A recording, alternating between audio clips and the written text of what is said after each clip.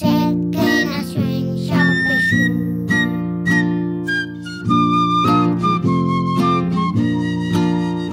José que a sus soldados entrenó, ganaderos que van a caballo, y con ellos luchó por la libertad.